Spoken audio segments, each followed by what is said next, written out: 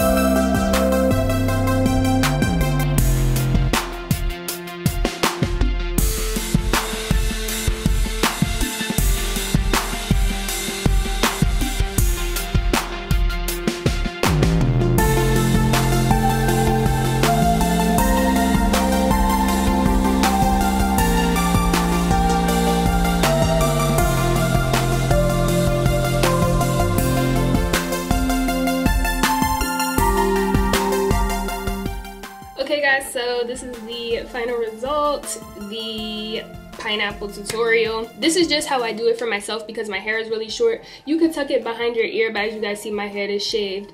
So that's why I keep it like that. You could pull this down a little bit in the back if you think it's like you know too much. I know everybody does their uh, pineapples differently but this is just a tutorial of how i install the clip-ins like the way i install them upside down. So obviously you could style the actual puff itself however you want. This is just showing you guys how to put in the clip-ins um, in a way where you can you know achieve this style. See this doesn't even look great you guys so that's why i'm keeping it like this.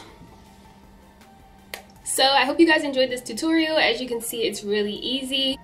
If you guys would like to see any other styles that I can do with clip-ins, just let me know because I'm trying to come up with like five or six different clip-in styles and this is the third one so far. I did the afro, I did this, and I did like faux bangs with a head wrap.